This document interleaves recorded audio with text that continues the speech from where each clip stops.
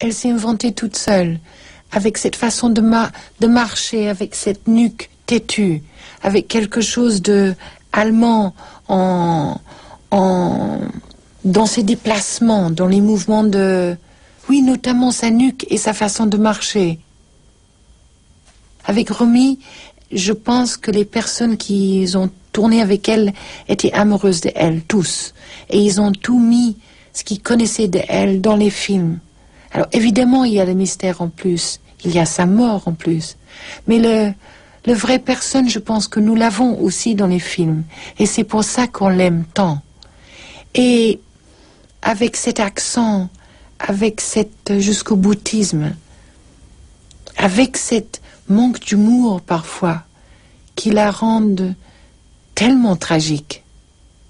C'est vrai que quand elle sourit, euh, elle te donne envie de pleurer. Et c'est pour ça que on ne se remet pas de son absence. Et d'ailleurs, on ne le souhaite même pas. C'est parfait comme ça.